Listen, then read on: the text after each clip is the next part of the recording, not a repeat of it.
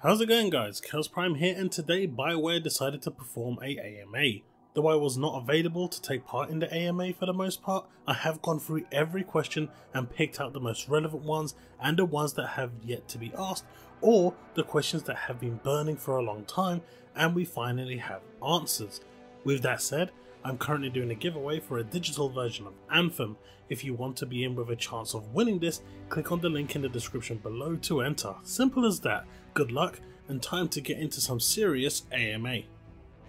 So, one of the most prophesized questions in Anthem is Endgame Raids. What is it? What will it entail?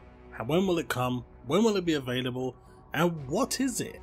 And well, many people have suggested it's the Shaper Storms or the newly announced Cataclysm, but we finally have some direction as to what this inspirational raid content that BioWare keeps mentioning will be.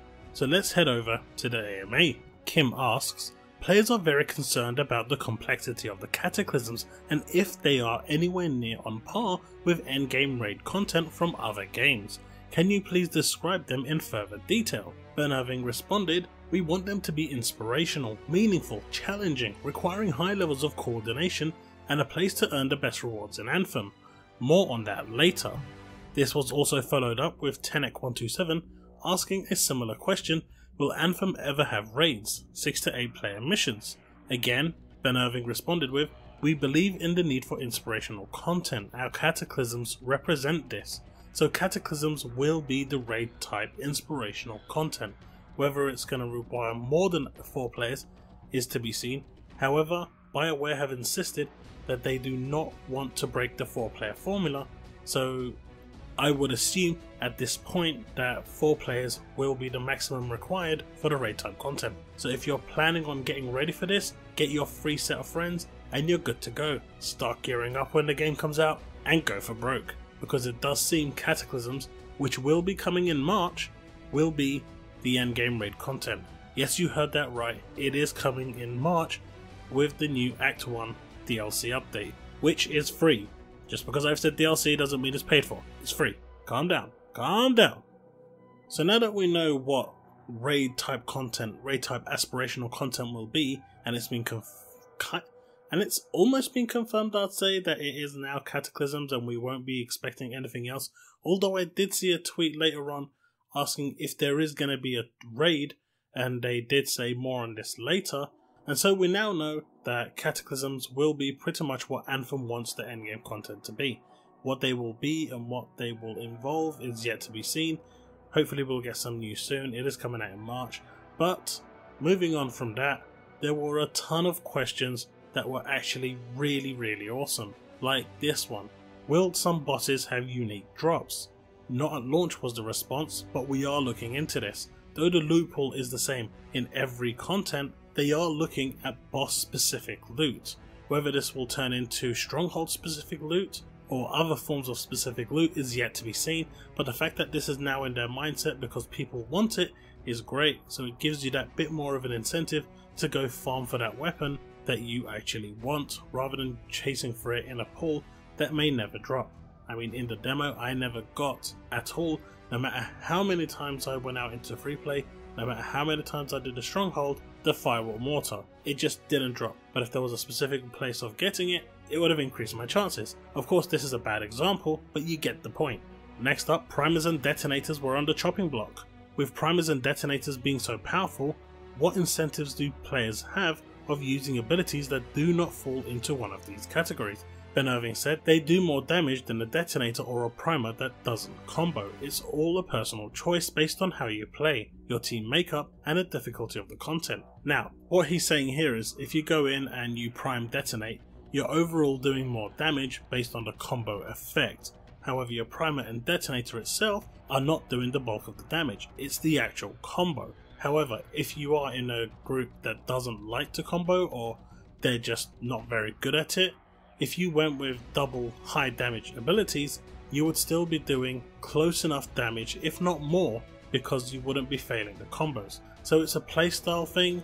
If you want to go full on damage, you can, but if you want to synergize with your other Javelin friends, you also have that option. This next one by Renee Klein is pretty amazing question and it would have been something that I would have asked. Will there be elemental weapons or bullets? So as of right now people are complaining that the guns are pretty weak and redundant because it's pretty much an abilities game.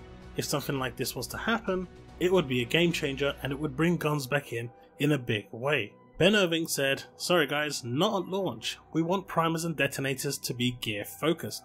We may add weapons do elemental damage and don't cause combos, however, so I guess I just talked myself into saying yes. Yes, there will be in time. So, here you have it, guys. Elemental weapons and bullets is now a confirmed thing coming to Anthem at a later date near you. It's going to be pretty awesome and it will broaden the way the game actually plays. It won't combo, but the fact that it will do elemental damage means it will shred the shields, and that is what is important. So this notion alone has me psyched and excited. Stop Grabbits now asked, will you make sure that a meta doesn't appear in terms of which weapons are the strongest?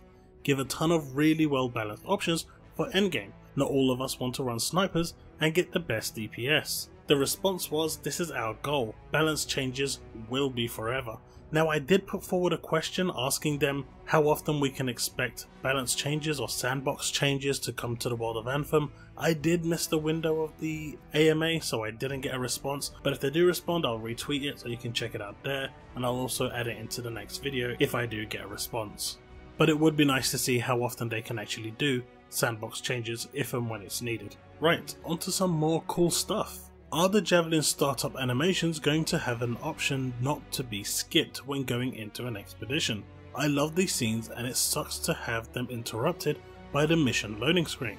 Mark Darrah responds, we are looking into this, so it does seem like it's actually a bug that it's cutting it out and not intentional, so I fully agree, it does look awesome when the Javelins are booting up and getting ready to set out, so hopefully we get to see this. It's only a few seconds and it does look really really cool. This one is pretty amazing. From Seketh. Can we get a mass salvage option where we can mark items and salvage them in bulk? The response is yes through the vault. This is actually a feature that's already in the game. So that is amazing. You don't have to go through your vault and break stuff one by one like you currently have to do in the Division 2. And if that's not the case, if someone could damn tell me how to do it, that would be great because I can't figure out how to mass break everything that I want to break in the beta. It's all one by one and it is bloody frustrating. Right, on to the next question. Are there any plans for a companion app that would allow us to read the lore and customize our javelins away from the game? The simple answer to that is no companion app at launch. They're not rolling it out, but for launch there will not be a companion app. And it is a shame because I'd love to be able to get involved and invest more time in the game, especially when I'm out and about at work or on the trains or something like this, it would be great for me to be able to take out my phone, log into the app, and just dive into the lore and just read about the history of Anthem, read about the history of Fort Tarsis, Helena Tarsis, and so forth. This sort of thing is amazing and it would have been great, but they haven't ruled it out. It is something for the future, at least for now. Travis asks, what type of cosmetics will we be able to look forward to? Just emotes or armor and vinyls too? Or maybe other stuff? Darrah responded with armors, emotes, banners, vinyls, and hopefully more things as we bring the tech online. So expect more creative things to come along. Who knows? Maybe we can get a full armor Buster suit, right? A full armor Hulk Buster. Now that would be awesome. Come on, Disney, BioWare, EA, do that collaboration. It's gonna make gold. Just do it. And this leads me on to the next question. Grunt asks, will you be adding an Iron Man armor? Just for kicks and giggles? Because we all know that the Ranger is pretty much Iron Man, right? And Mark Darrah confirms this would require a conversation with Disney. So, have that conversation. There's money to be made. I know some people will go out and earn it, and that's fine, but there's money to be made here, and I, for one, would go and buy the Hulkbuster skin instantly it was available. Period. My Colossus needs it. Benjamin asks, will there be a photo mode? Not at launch, but it is a widely requested feature, and I've seen this being plastered around a lot. It is something they want to do, however they're worried at the way of implementing it because you can't pause the game in Anthem, and this is their biggest concern right now in trying to get the right balance, the right fit the right situations. It may be that it's only available in free play where it doesn't really matter what you're doing, but in strongholds I can see this becoming problematic if you're fighting a boss and someone goes, hey guys, one second, I'm just gonna get into photo mode and take a really cool shot of this. Yeah, it doesn't really work. Matteo something asks, how much of pilot customization is there at launch? Will we be able to change hairstyle, colour, or even adjust our pilot's appearance, such as nose, eyes, mouth, ears, etc.? The response to this was we have focused our personalization efforts on the Javelin. For Pilot, you will pick a pre-generated head from a list. So the Pilot customization will be pretty basic based on this, but to be fair, you hardly ever see your Pilot from what we've seen so far, and the Javelin is the primary focus. Would we be able to change the colours of the thrusters? Not at launch. We do really want to add this, so this is something that will probably come in with the March update or the following update from then, but I would expect this to be something that will be added with the quality of life updates in March. So do look forward to it because this kind of does sound cool. I would love a red flame coming out from my thrusters as I boost along. Toxic Craver asks, will we be able to set visible waypoints so that you don't have to stop every 10 seconds to make sure you are headed the right way in free play. And believe me, this is very, very annoying and frustrating, and it's a bigger issue than people want to admit. If you stray too far from your friend, it doesn't appear on the compass, then you're having to go into the map to fly along, and then you have to check again to make sure you're flying in the right direction, then you're checking again to see how close you are. It's annoying and frustrating, and something that could easily be fixed with a waymark. Mark Darrah responded with, I'm signing Ben up to do this after launch right now. So again, expect this to be part of the March update. This next one by Flying Gecko is a really, really good question and one that I do hope one day we will see.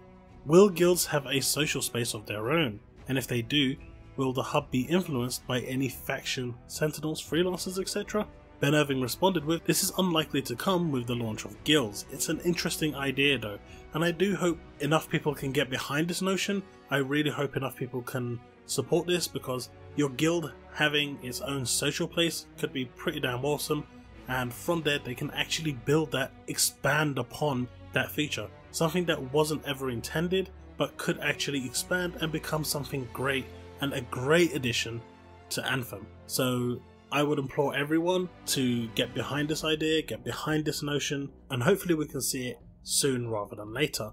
Don't expect it for March probably in Act 2 or 3 but even then, this is an amazing question, and I do like the response and the fact that Ben Irving is actually open to the idea. He finds it interesting and it could be cool as far as he's concerned. So if they can get the logistics right and get the server capacity right, this could be a really, really cool feature. So the next question we have is by SkillUp. Yes, the actual SkillUp, and he's on the MTX bandwagon yet again. How much will cosmetics cost at launch and how many hours will it take to earn those cosmetics if we were to grind for them? Mike Darrah responds, we are constantly adjusting the balance of our economy. We want to ensure that you can earn things in-game in a reasonable amount of time. And honestly, something like this is going to be worked on until the last second. Considering the MTX store is separate to the game, separate to the way it actually functions, this can be adjusted all the way to the last second. How do I know this? Because I know people that work in the industry and they do the same. It's a common practice in the games industry. They adjust things until the last second and they see how it goes. If no one buys it, then they adjust the prices again. If no one buys it, then they adjust the prices again until people do start buying it. Once they start buying it, then they reassess. This is how it works. I think uh, the MTX bandwagon hate with Anthem kind of needs to be cooled off now because simply put, it's kind of getting sad. They're giving you free DLC, free updates, free content. What more do people want? If we don't pay for microtransactions, we don't get free stuff. So it's one of two things. I, I, mean, don't get me wrong, I don't like microtransactions, but the model that Anthem is going for, I don't mind investing in a bit because I'm getting free content even if it is spending up to £60 worth of cosmetics. That's what I would normally pay for the expansion, right? I'm fine with that. So I, I don't see the problem here. And people just really need to just call it with the EA hate.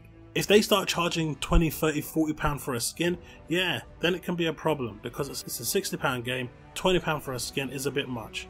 But they're not doing that as of right now. They've debunked that picture. We don't know for sure how much you're getting for one pound for shards. There is no information. There is no legit confirmation. All of it is hearsay, and hopefully, once the game comes out, we can finally see. And if they are trying to rip people off, then fine. Go and do what the hell you like. But until then, call it off, guys. Bankroll asks, I want more activities in the open world. More various activities like treasure hunts, races, or things like that. There are response, we will be adding new activities and things to do over time. Races would be cool, and yes it damn would. Streamer Alert asks, when do you think the PvP system will be in the game? No PvP at launch is the current statement.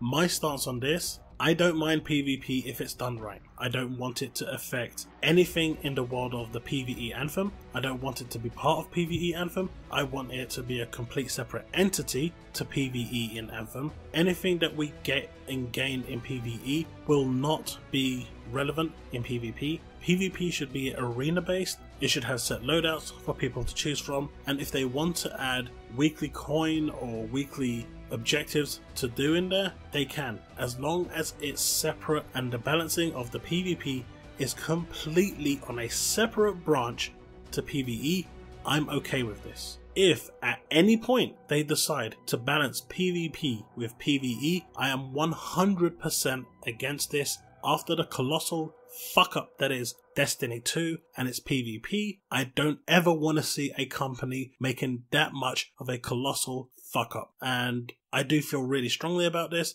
because I loved Destiny, but the way Bungie have gone, they have completely and utterly destroyed that game by focusing everything on PvP. And I really hope BioWare with Anthem do not go in this direction. If they want to make it arena based, completely isolated in its own little housing, away from PvE, I am all for it, because this could be a really really good mode, especially during the downtime and the content droughts. We need something after all. But if they want to balance it with the two, hell no. Absolutely not, I am totally against it 100%. I will be at the forefront with you guys for that. I do feel really strongly about this.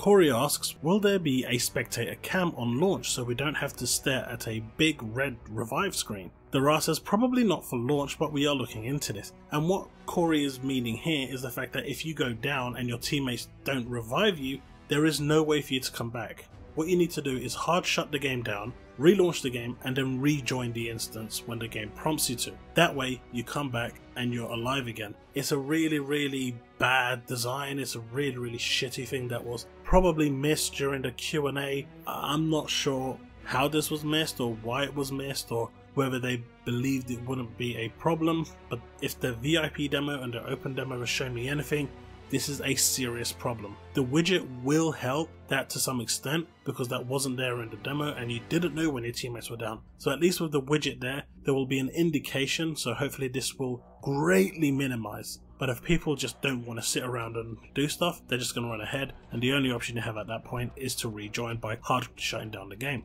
With that said though, if you do that and you rejoin the instance, all the XP you gained and all the bonuses that you gained up to that point you get to keep and once you complete the dungeon or complete the event you get all the rewards. So it's inconvenient, yes, but hopefully after launch they can look into this and find a better solution. And that better solution, pretty much if you ask me, is that maybe a 90 second timer. If no one's revived you after 90 seconds, you simply revive yourself once you're out of a no respawn zone. Done. Simple as that. Next question is, do missions quests require public matchmaking or can I do the story completely solo? Mark Darrah responds with story missions can be done solo, which is pretty awesome for you solo players out there. But just remember, free play and strongholds are forced matchmaking. Derek Romine pretty much confirms that he's been playing Destiny with this next question because it is a pain in the ass. What if I miss stuff on the roadmap? Will I miss out forever, or will the missions and events stay in some character's head that I can talk to at the fort? Ben Irving responds, some things will only be available at the time. They may come back around later, so I assume these are like Halloween events and Christmas events, Valentine events, things like this that will basically be seasonal events, and other things will be permanently available, like strongholds and other things. The big question right now is cataclysms. BioWare have said that it's pretty much a timed event, it won't be a consistent event, so whether this will be something that can be missed or not missed is a big red flag and one that I hope they can clarify a bit more going forward.